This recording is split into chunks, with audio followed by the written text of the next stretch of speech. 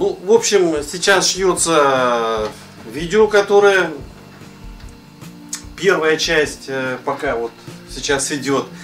А, но сегодня уже без особого мнения, ну все сразу, я думаю, заметили, что здесь нужно перво-наперво над чем поработать. Это прежде чем приучать собаку к поводку и выходить на с поводком, да, мы должны первое, что самое главное должна собака знать, это собака знать должна команду ко мне.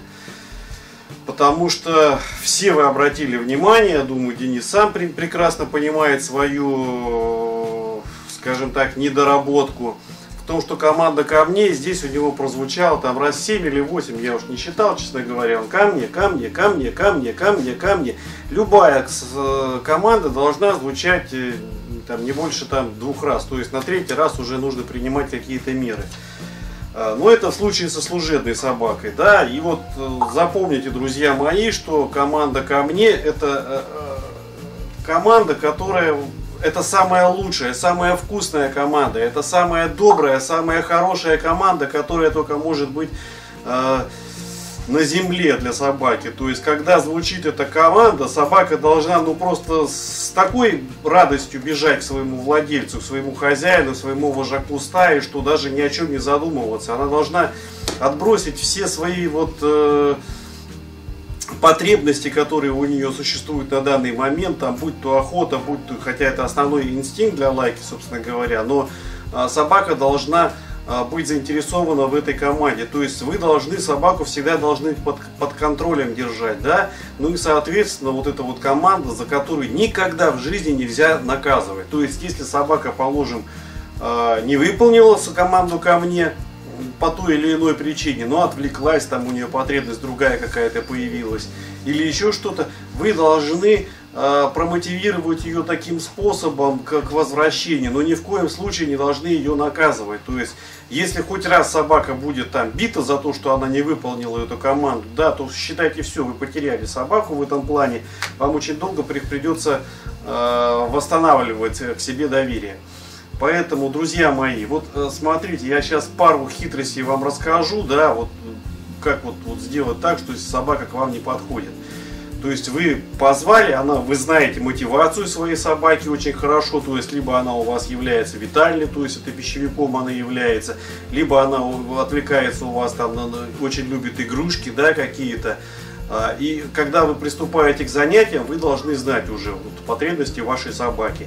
А, то есть команда ко мне, видео у меня есть, я снимал на эту тему, но сейчас в двух словах мы так просто поговорим на, на, по этому поводу.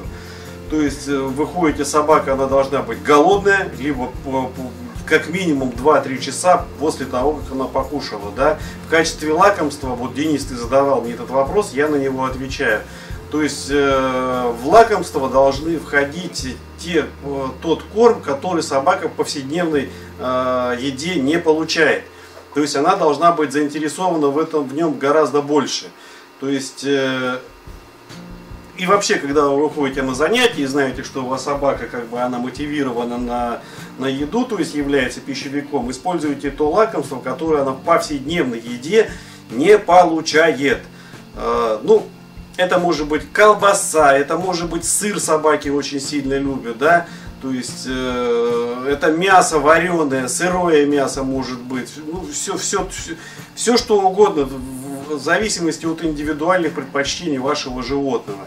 То есть, смотрите, вы звучит э, команда ко мне, жестикуляция рукой, там в вашем случае вы можете использовать какой-то ультразвуковой свисток, например, да, то есть на охоту ходят в основном, э, когда э, есть такие свисточки ультразвуковые, то есть это вы когда свистите в него, человеческое ухо не слышит его, но ультразвук распространяется очень хорошо, очень далеко, и собаки слышат его, то есть в зоомагазинах продаются, охотники часто используют, которые знают, охотники такие более-менее продвинутые, э, ну, либо просто обыкновенный свисток, в общем, смотрите, звуковая команда, либо свисток какой-то, э, жестикуляции руках, рукой, если в поле зрения находится, вы находитесь в поле зрения собаки. Собака к вам подбежала, вы ее покормили, похвалили. Если собака к вам не подбежала, что делать в данной ситуации? То есть вы можете чем привлечь внимание? Можете присесть на корточки, да, когда вы присядете, собака заинтересуется, что же вы такое сделали, и собака начнет, ну, побежит к вам поинтересоваться, что же вы там делаете. Очень часто работает этот способ, поэтому пользуйтесь этим способом. А, второй способ, вы можете развернуться и начать убегать от собаки. То есть я же вот, э, опять же, делаю сейчас ссылку на свое видео, там у меня есть видео, как нужно, как правильно играть с собакой, как неправильно играть с собакой. Если вы уже заранее, то есть до этого играли правильно с собакой, то есть вы не догоняли во время игры собаку, да, а собака именно догоняла вас, преследовала, то здесь работает охотничий рефлекс собаки, то есть она будет вас догонять. То есть вы, звучит команда ко мне, происходит не исполнение команды ко мне, на второй раз уже, я повторюсь. То есть 10 раз говорить не надо.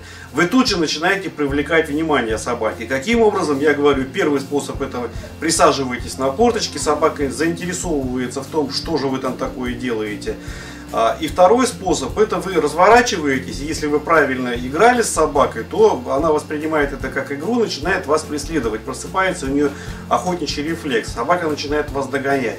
Когда она вас догнала, вот здесь вот вы э, даете лакомство начинаете усиленно хвалить. Вот опять сделаю вам ссылку на передачу с, с то, что нужно эмоционально а, раскрашивать свои слова. То есть не, не, не на одной интонации говорить хорошо, плохо там и так далее, а именно с разной интонацией. То есть, например, ай молодец, ай хорошо, ай браво мой хороший, ай браво молодец, умница моя. И тут же одновременно даете подкормочку собаку, гладите ее. То есть, э, еще раз повторю, что это самая вкусная, самая хорошая команда. То есть прежде чем мы с вами начнем заниматься приучению к, поводку, то выучите вот эту именно команду. На нее у вас идет там несколько дней, а пока вот э, что вам могу пожелать, Денис, давайте вы пока сделаете так. Вы, э, как и все, ну ладно, дальше, дальше, дальше, дальше, дальше мы снимем следующее видео, собственно говоря. Удачи!